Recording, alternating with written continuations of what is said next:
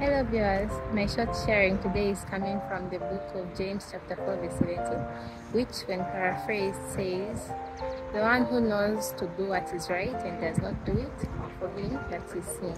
This means that if we know what is right and we don't do it, then that is counted on our part as sin. And I don't want to look at this verse from a condemning or judgmental way, you know, one that is quick to drive everyone to hell, but rather I want us to focus on this particular text from a psychological perspective.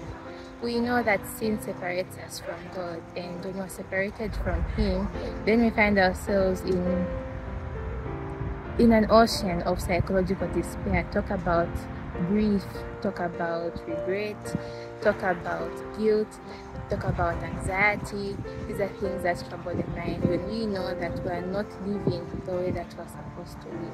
So when we sin, which according to James 4 17 is doing what you know you shouldn't do, from a psychological standpoint, this could involve things like being undisciplined, not taking self-control when it comes to your sleep, when it comes to your diet, when it comes to exercise, and even controlling social media use, and um, even other aspects such as um, the types of friends that you engage with, and the things you talk about, and the things that you focus your attention on.